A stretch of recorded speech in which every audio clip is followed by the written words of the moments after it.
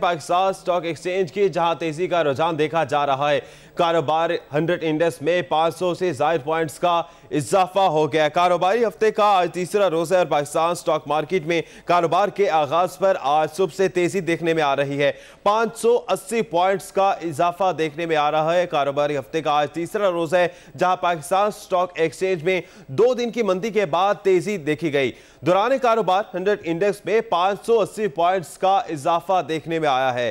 Pakistan stock exchange में दो रोज की मंदी के बाद आज तेज़ी का रुझान देखने में आ रहा है। कारोबारी हफ़्ते के आगाज़ में मंदी देखी गई और दो दिन ये मंदी बरकरार रही थी और आज कारोबारी हफ़्ते का तीसरा रोज है और आज तेज़ी का रुझान देखा जा रहा है और हंड्रेड इंडेक्स में 580 पॉइंट्स का इजाफा देखने में आया है। पाकिस्तान स्टॉक एक्सचेंज में दो दिन की मंदी के बाद तेज़ी का रुझान देखने में आया। दौरान कारोबार 100 इंडेक्स में 580 पॉइंट्स का इजाफा हुआ है। कारोबारी हफ़्ते का आज तीसरा रोज है।